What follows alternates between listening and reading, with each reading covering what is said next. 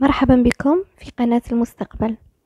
قناة المستقبل هي عبارة عن قناة تتضمن العديد من الفيديوهات المتعلقة بمجال السكنات والقروض. إذا كنت من الأشخاص المهتمين بهذا المجال رجاء اشترك في القناة وفعل جرس الإشعارات ليصلك كل جديد للقناة. إذا حبيت الفيديو نتاع اليوم ما تنساش دير جيم الفيديو وتبارتاجيها مع أكبر عدد ممكن من الأشخاص لتعم الفائدة. وشكرا. الفيديو نتاع اليوم يتعلق بإعانة السكن الريفي.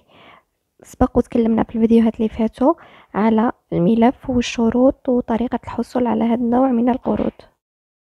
أما في هذا الفيديو راح نتكلموا على الإجراءات اللي تقوم بها باش توضع هذا الملف. إذا يتم إيداع الملفات من قبل طالبي الإعانة على مستوى الوصالح المختصة للبلدية.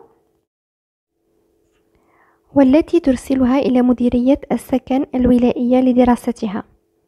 وتحيل هذه الأخيرة القوائم من أجل التحقيق إلى مصالح وزارة السكن العمران والمدينة.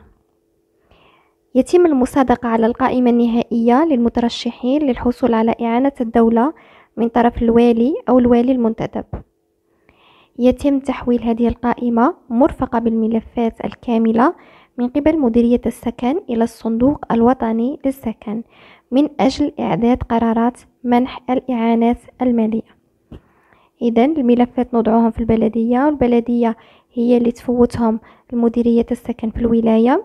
هما اللي بعدها يروحوا يفوتهم لمصالح الوزارة السكن والعمران والمدينة. يديروا التحقيق من بعد يرجعوهم للصندوق الوطني للسكن السيانال اللي يدير قرارات باش يمنح الإعانات المالية. إذا كان هذا الموضوع نتاعنا لليوم. نتمنى انه لا فيديو فادتكم ما تنساوش